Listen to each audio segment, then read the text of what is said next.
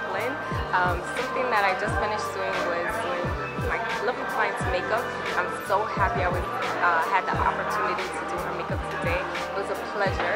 She made me think about all the things that I love doing and everything we do in life is a process. So just like how I took the time to formulate the best process. When I first started out, I didn't have much confidence in myself, so I built myself up to where now I'm an actual senior artist. So shout out to Rebel Jones. I love what you're doing.